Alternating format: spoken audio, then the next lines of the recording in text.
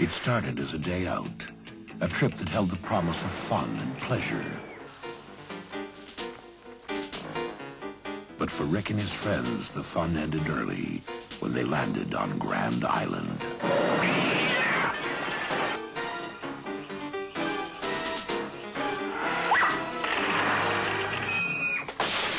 For those who dare, face a horrifying and bloody by the dead. Threatened by evil. Chased by the unknown. Terrorized by monsters.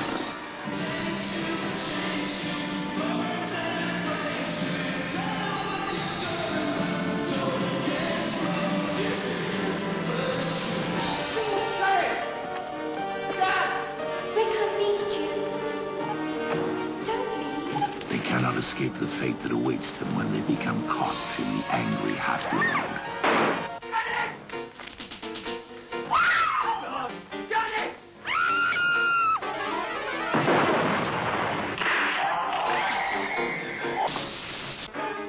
Dead or alive, they are locked in time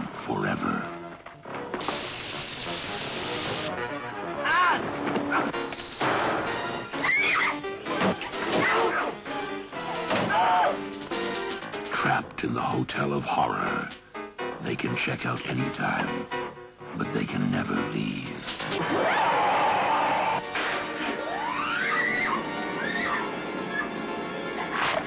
What started as a day to remember